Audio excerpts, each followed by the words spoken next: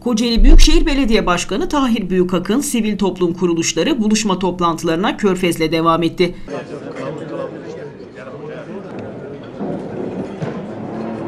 Başkan Büyükakın konuşmasına çocukları ve şehirleri Türkiye yüzyılına hazırlanması için STK'larla yeni bir mutabakat oluşturma vurgusu yaparak başladı.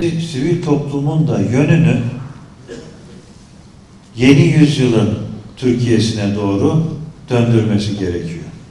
Sizlerden asıl beklediğimiz, sizlerle bundan sonraki yürüyeceğimiz yolda beklediğimiz işbirliği bu.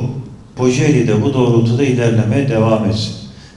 Başkan Büyükakın yeniden büyük bir güç olma fırsatını yakalamış olan ülkemizi hep birlikte geleceğe taşıyalım dedi. Başlattık. Sivil toplum kuruluşlarına destek veriyoruz. Kent konseyimiz üzerinde. Orada çocuklarımızın yarının dünyasına, yarının Türkiye'sine hazır olmaları için eğitim projeleriyle bize daha çok gelin.